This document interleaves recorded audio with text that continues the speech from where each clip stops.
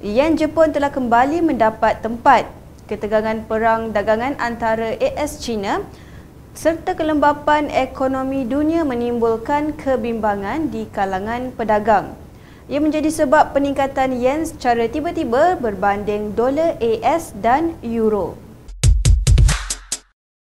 Konflik dagangan AS China mula mendapat perhatian. Kelihatan seolah-olah perang dagangan mungkin akan menjadi perang mata wang. China telah melemahkan mata wang yuan di bawah paras 7 berbanding dolar AS buat pertama kalinya dalam tempoh 11 tahun.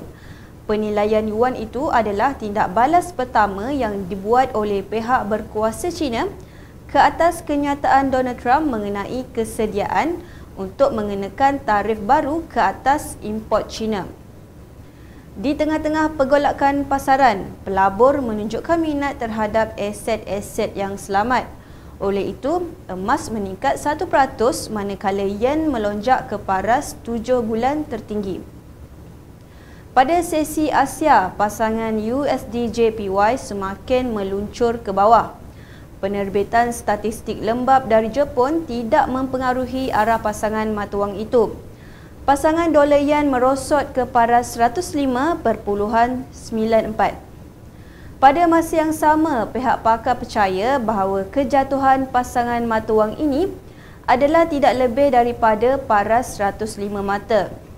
Ekonomi Amerika Syarikat tidaklah begitu lemah bagi sebarang kejatuhan yang ketara dalam sebut harga dolar AS. Dolar Australia juga terjejas oleh pengumuman pusingan baru tarif ke atas barangan China.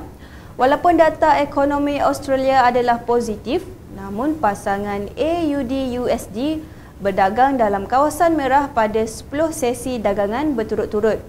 Ini adalah penurunan terpanjang sejak tahun 2008. Pada sesi Asia, pasangan AUD-USD berada pada tahap 0.6771.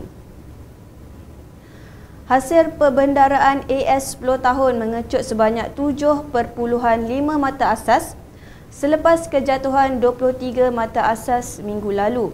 Ini adalah penurunan mingguan terbesar dalam tempoh 7 tahun. Dolar Amerika Syarikat telah merosot selepas membuat lonjakan sebelumnya. Pada masa ini, ia didagangkan pada 97.98. Para peserta pasaran sekali lagi menunggu potongan kadar utama yang akan dibuat oleh Fed pada bulan September.